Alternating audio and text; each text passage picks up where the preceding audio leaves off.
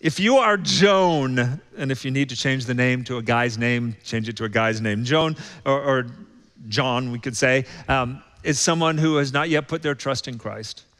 And you just saw me write this about you. Some of you might be a little offended. I, I get that. Um, please come and talk to us if you are. We want to dialogue with you about this. We want to talk about this. But here's what I want to make sure you hear me say. If you are Joan, we don't expect you to act all righteous.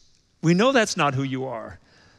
So you are free here to come and say, hey, here's who I am, here's who I'm struggling with, here's what I don't quite get. I've got this going on in my life. Is this a safe place to say that? Please hear me. Yes, this is a safe place to say that. We want to have those conversations with you. But we don't want you to stay in that place. You are welcome here. Please, everyone is welcome here.